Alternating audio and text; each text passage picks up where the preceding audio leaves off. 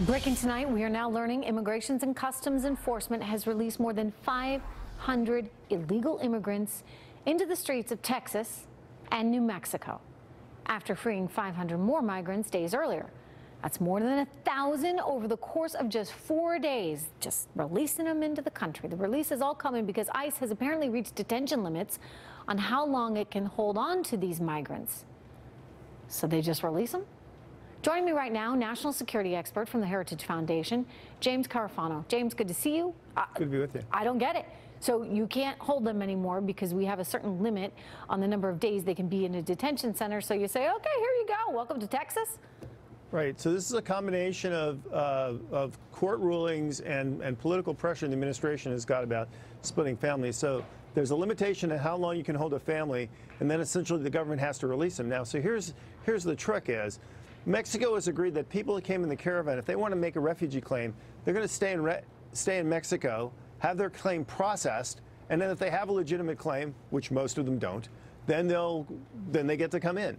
So what people are going to do is what these guys are doing is you put together a claim of a family and you illegally enter the United States, then you get detained, then you have to get let go, right? So so so we're making a deal with Mexico to prevent this thing, and and our courts and the pressure that we're getting from the left is forcing the United States to create incentives for people to illegally cross the border, create incentives for mm-hmm. human traffickers to put people together as families and, and break the system. There we go. The law of unintended consequences. Hey, let me ask you this, though. Why is it that the Democrats are so desperate to get so many illegals here? And by the way, I'm not anti immigration. I actually am all for immigration. For the right kind of people to come here, we need them. We sure do. I mean, the Social Security bills alone, right? But we need people that can contribute, not people that are going to stay on welfare and drain the system. We want people that want to be upstanding American citizens. Uh, you know, so I'm not I'm not against that, but why is it that the Democrats want to unleash, you know, thousands of people illegally into the country? Why do they want to abolish things like ICE?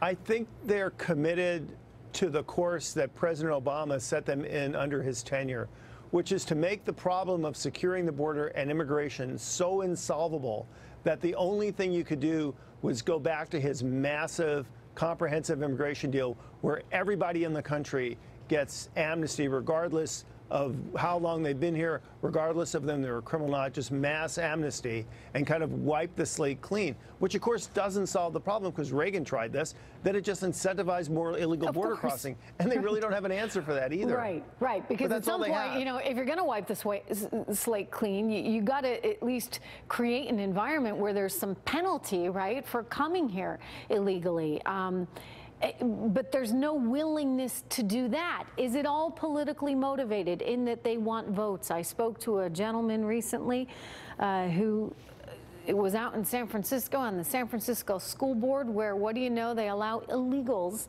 to vote out there on the West Coast uh, in these school board elections because, uh, well, they feel it's the right thing to do. Is that ultimately where this is going? They want to get as many votes as they can, legally or not?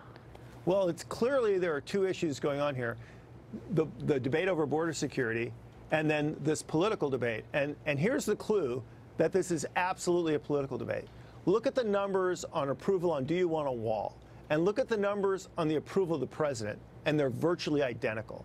And which basically says when you ask somebody, do you want a wall? All you're really doing is a referendum on do you like Trump or not? Not do, do you actually like border security? Do you want the laws enforced? Yeah. Do you want the United States to fight human trafficking? Do you want the administration to, to limit the capacity and, and the propensity of people to lives at risk? That's entirely true because I think there are a lot of people out there that don't necessarily like his style, but they like his policy right? And so part of that policy is stronger security, and it might be a wall. And I think when you really drill down, I think, James, Americans want that.